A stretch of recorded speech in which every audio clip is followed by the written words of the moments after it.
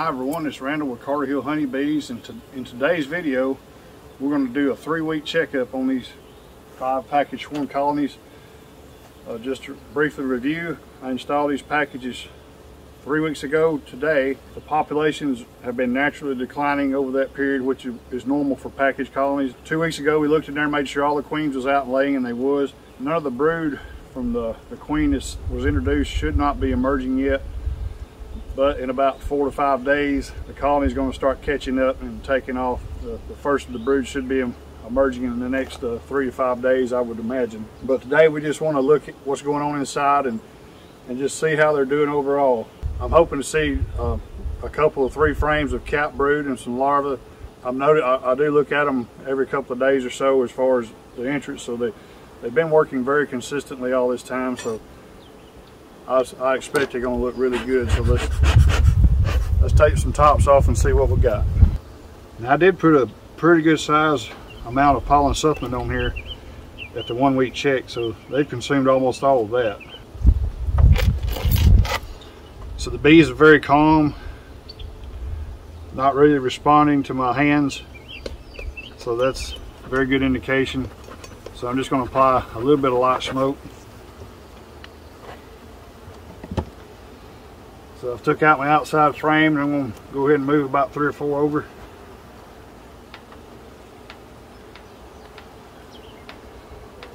So yeah, we're almost at the edge of the brood nest.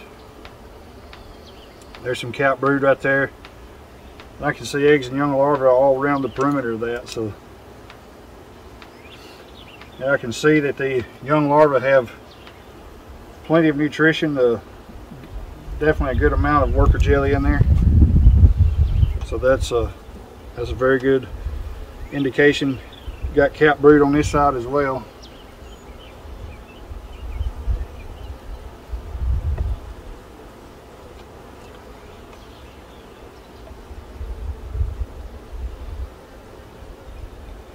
Yeah, right here's the end of the brood nest, pretty much.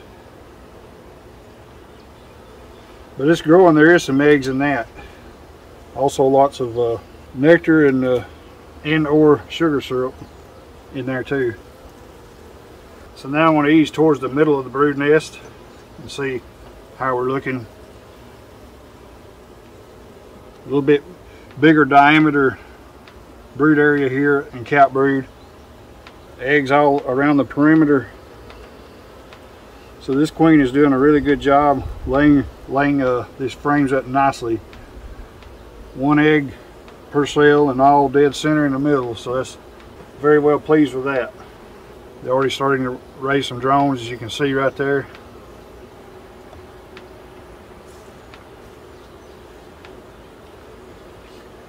Very nice amount of cap brood so this this colony in two weeks uh, going to have a totally different population than it does right now. I have a pretty good chance of getting some honey off of these this year being I was able to start them out with drawn comb. Yeah, there's a very nice frame of brood right there. Awesome. So that that young queen right there is doing a great job.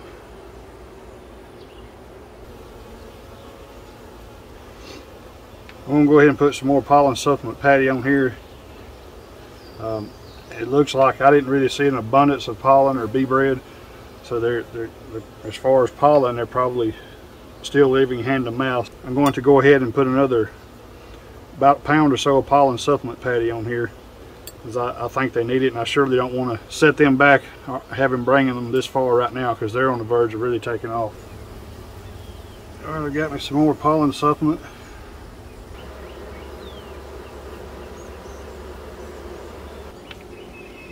All right, so that colony's good to go. This colony hasn't used too much of the syrup either. Maybe close to half of it in two weeks.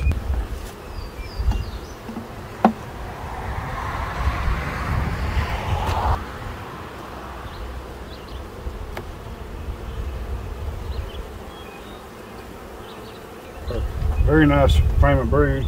There's a little bit of pollen and bee bread there.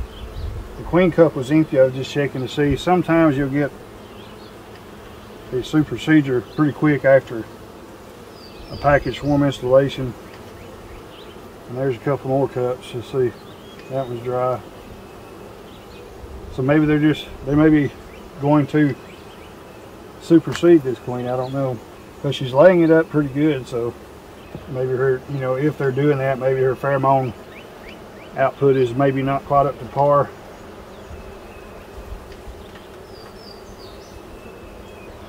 Still a pretty good brood pattern, a little bit of spottiness, but that, could be due to mites. Because uh, I'll be doing a wash on this collie here in a week or so, and once a good deal of her brood starts coming out,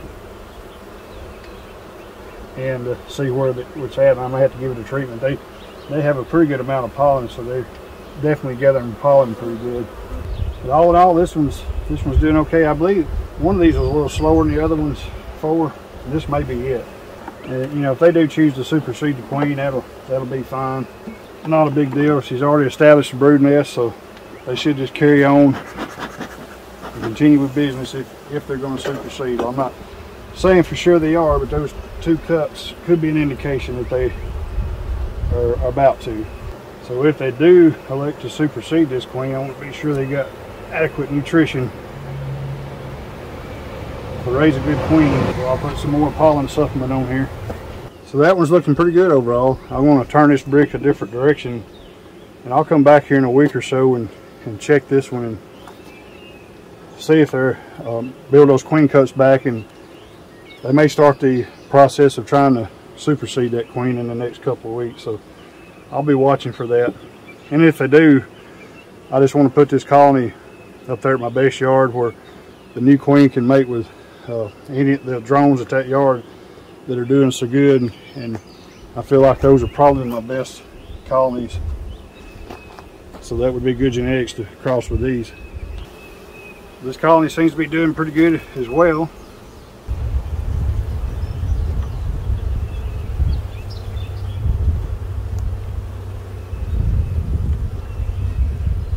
So that's very nice. Actually a bee emerging right there so this frame's starting to emerge out some young bees. So this queen got out pretty early. She must have got out the, about the second day or maybe the day I installed them. Which would be nice. That'll get, that'll get this colony building up even quicker than I was anticipating.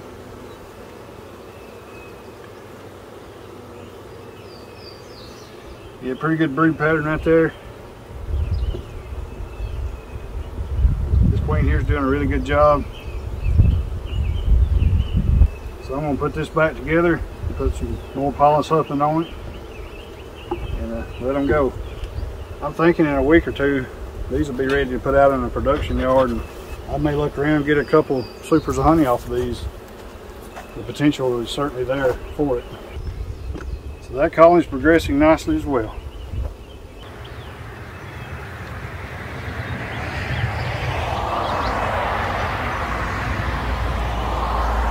Yeah, right there, very nice. Uh, got a nice band of pollen around the top. A little bit of spottiness. So a week or two, I'm gonna do a mite wash on these to see where they're at. That I see where bees emerge right there. And that may be what's happening. The bees may be starting to merge. But uh, still, I think it's a good idea. I need to see where these are, bees are at on the mites and uh, and then address that accordingly. But I don't see any reason to pull any more frames. This colony is doing very well. Beautiful frame of brood right there. Now if I would have got these packages back in the middle or latter part of March, this wouldn't look nothing like this and probably 70% of the queens would be, the colonies would be in supersedure mode right now and you know these may do it too. I don't know. I can't answer rightly answer that. But right there's some very young bees. So there's already bees emerging today here. I mean this has been 21 days since I installed them. So apparently some bees may come out a day early. But uh, but I see five or six very young bees right here. There's a queen cup. Not going to mess with it. And also I don't see any need to go any further as I see more and more cap brood on those other frames. So I'm very well pleased with these these packages. So especially if you got drawn comb, uh, packages are not, are not, a bad option. Um, I'm, I'm seeing that here. So I definitely had, I've had much better uh, success with this group of packages than I did the last ones I bought in 2013 that I, I received and installed around March the 16th. And that's just way too early for this area in northwest Alabama for me. Now, if you live in South Alabama or some areas further south, that's probably a good date, but, but not for me. I'll never, I'll never get none that early again. I've got five very good colonies. All, all 13 of them I got back then. Never uh, got anywhere near this good until uh, basically the honey flow was over. So very, very well pleased with these right here. But the key is I was patient and waited till uh, 1st of April to get them. And I'm putting a very generous amount of pollen supplement patty on here.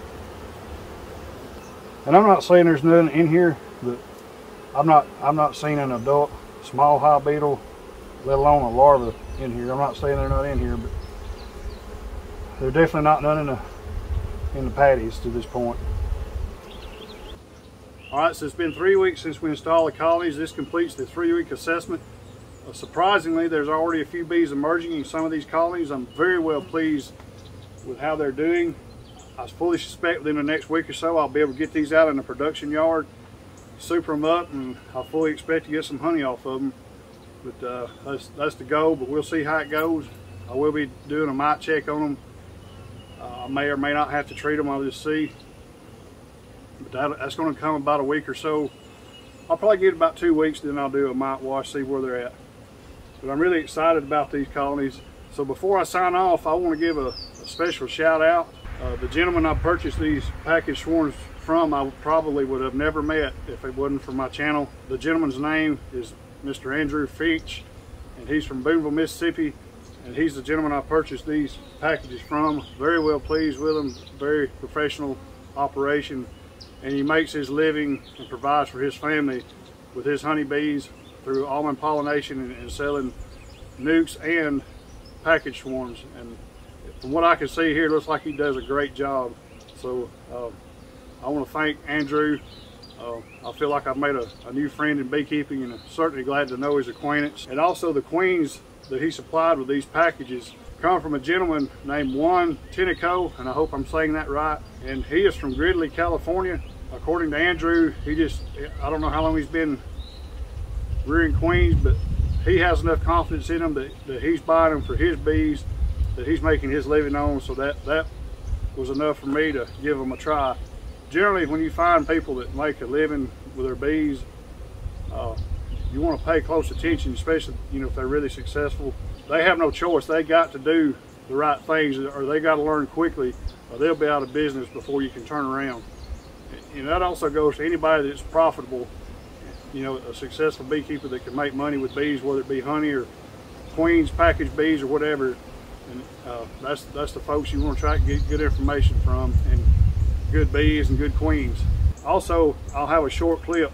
The additional extra queen I got, I wound up uh, making a 10 frame split with about six frames of brood that I combined with that nuke that you saw at the, uh, at the one week inspection. There was not enough bees in there, so I just went and uh, made a big split on it and uh, it's absolutely took off and, you, and you'll get to see some footage of, the, of that queen in, in this uh, video but she's really took off. I'll, I'll, be putting those out in the production yard within a day or two. Uh, there's already young bees doing orientation flights in the afternoon so that colony is definitely doing very good. So.